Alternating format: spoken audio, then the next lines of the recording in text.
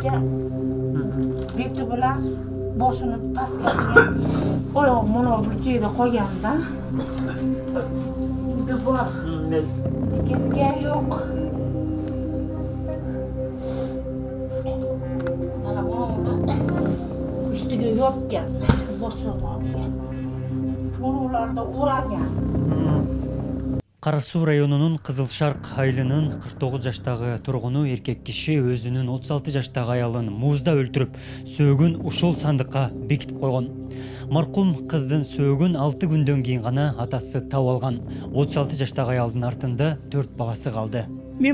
bola bilan kun ko'rishim kerak o'n to'rt yashar o'n yashar besh yashar qoldi qo'rqyapman kechasi chiqolmayman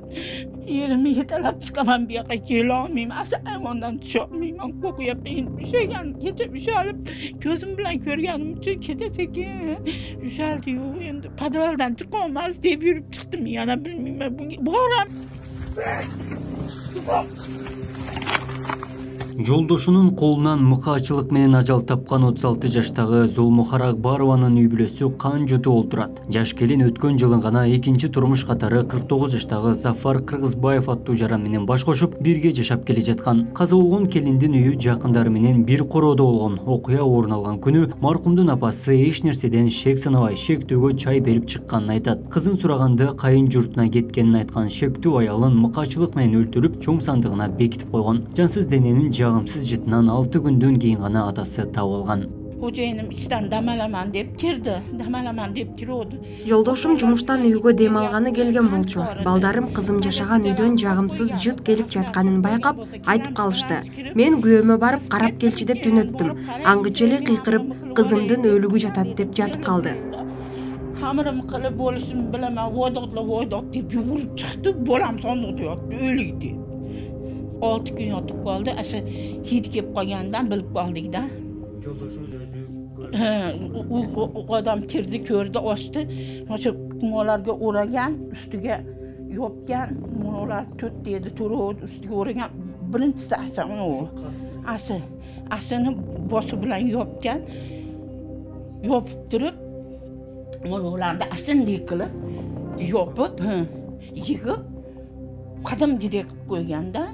маркум келиндин жакындары кызынын өлүмүнө жер талаш себеп болгон деп болжоп жатат буга чейин шектүү үйдү өз намына өткөрүп берүүнү талап кылып жүргөнүн билдирди жаш келиндин артында үч кыз бир улуу калды келиндин жакындары шектүү буга чейин адам өлтүрүп жүргөн деп шек санашат bu yer talashganmikin deyapmanda uni o'zimga ham aytuvdi жер талашкан деп ойлоп жатам. Өзүмө дагы айтып үйдү өткөрүп берүүнү сураганда жок деген эмесмин он бир миң сом берсең наамыңа которуп берем деген болчумун жада калса бул мыкаачы өгөй балдарын дагы өз атыма которуп караймын деп бизге айткан эле bu endi hisobpas dedi shu mana shuni ichiga qo'ygan ekan pichoq бычакты ушул кыямдардын ичине бекиткен экен биз көргөн жокпуз аны дагы биринчи муунтуп андан кийин бөйрөгүнө сайган эгер биринчи бычактаганда биз анын үнүн угат элек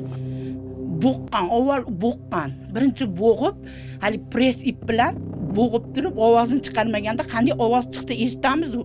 буккан бугуп туруп эне ким чалаган ошондуктан кандай жасаган башка кылган билбеймин мен шектүү зафар кыргызбаев он беш күн өткөндөн кийин гана өзгөн районунан кармалып кылмышын мойнуна алган учурда кара суу райондук ички иштер бөлүмү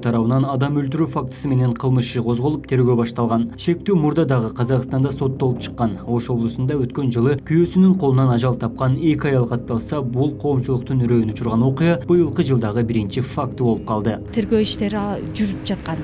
Эки миң жыйырма экинчи жылдын он төртүнчү декабрында кара суу райондук ички иштер бөлүмүнүн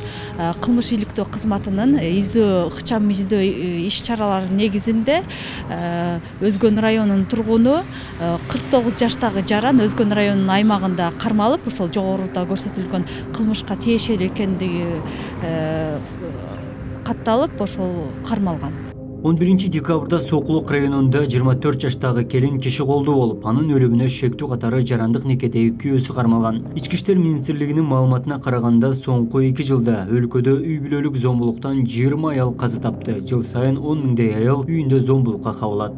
Абдымалик базарбаев бектур мойдонов ош тв